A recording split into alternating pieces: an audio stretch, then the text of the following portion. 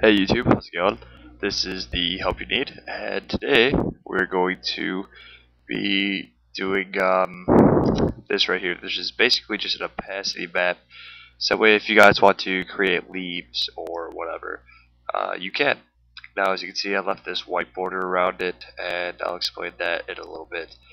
Um, but as you can see, it looks just like a plane. I can render it from both sides. And either way, you're going to get the uh, leaf. Okay, so I'm going to show you guys how I did this, and I'm going to show you guys how you can uh, use it. Okay, so first of all, find yourself a picture of some leaves. In my case, I got this one from uh, MissouriPlants.com, and these are just a couple of leaves here. Now, this is nice because it gives you two different kinds of leaves, and then you can kind of mix and match, put one over the other, one behind the other, whatever. Alright, so just save this and open it up your favorite photo editing software. Okay, so I have GIMP opened up here, which is my uh, photo editing software of choice.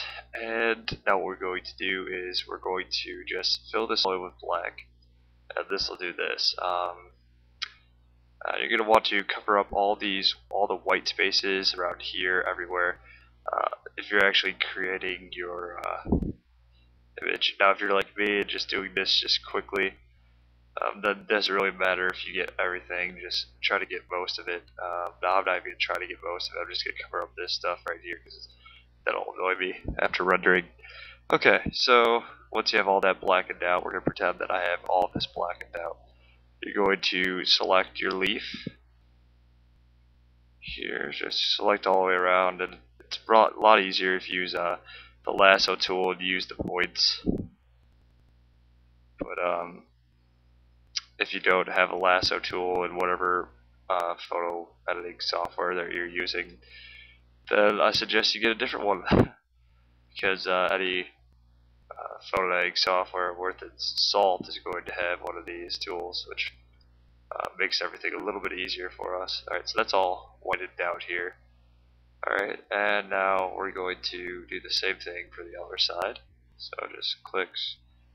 Um, now I'm doing this pretty quickly, so it might look a little bit more choppy than yours probably will, but that's okay. Um, not all leaves are the same anyway, so it really doesn't matter.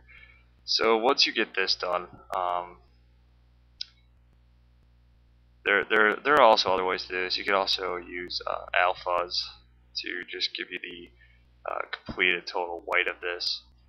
Alright, so once you're done with all that, and you've got your two opacity um, maps here, you can, if there's any like green areas from the leaves, you can fill those in with white, just like this. Okay. Okay, now you're going to save this as, and then we're going to use opacity.jpg, or in my case JPG. I'll put it at 100% quality so you don't lose any quality when you uh, add it. So now you should just have a, doesn't matter what size your plane is really, just go ahead and apply a material to a plane. Don't know how to do that, just click M on your keyboard, select apply, which is this little button right here. Select the checkbox by the diffuse, select bitmap, and now we're going to start with the diffuse, which is uh, Florida flowers or something like that. So let's see, come down, Cornice, Florida. Alright, so once that's added, go ahead and select the checker box, and that'll give you the uh, this right here. Go ahead and select two-sided, so that way if you come to this side, you can see it as well.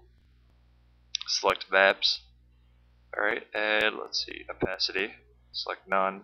Select bitmap, and now we're going to use our opacity map, which is just opacity.jpg. Alright, and now when we render this out, it doesn't matter what your background color is, so let's uh, change it to red. Okay, I rendered it out really quickly.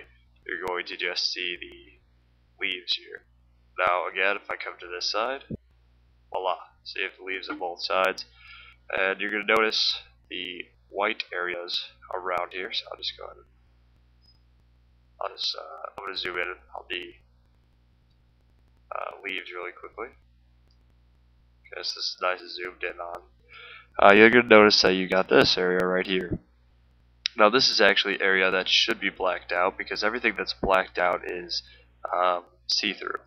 So these are the areas that should be blacked out. Now the easiest way to do this is to use your, when you select the leaf with your lasso, uh, you're going to not finish it right away. You're going to select the areas around it, and then you're just going to fill those in with black because it's really the easiest way to do it. Um, but there are also other ways that you can do it. So if you find a way that's better for you, then go ahead and do it. Otherwise, you can just use a uh, paintbrush or a pencil. Alright, well that's the end of this video tutorial. Hope you guys learned a little bit about, a little something about uh, how to create some opacity maps uh, in GIMP and Max. Alright, I hope to see you guys in my next videos. Got two more coming out this week. Uh, I've got South Park character, as well as um, a web layout in GIMP. Alright, see you guys there.